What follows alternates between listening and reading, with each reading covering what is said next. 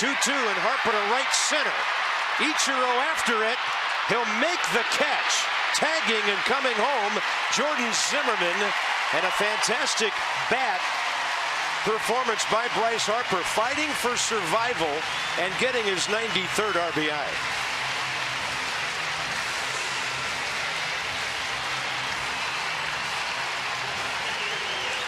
Well, he wanted to do more. You can tell by the reaction right there. But that's a heck of an at-bat by Bryce Harper. I mean, he fouled off some nasty pitches with two strikes.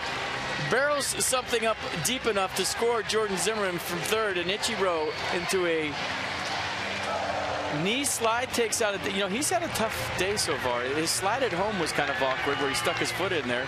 That's a nice play. But a great at bat by Bryce Harper.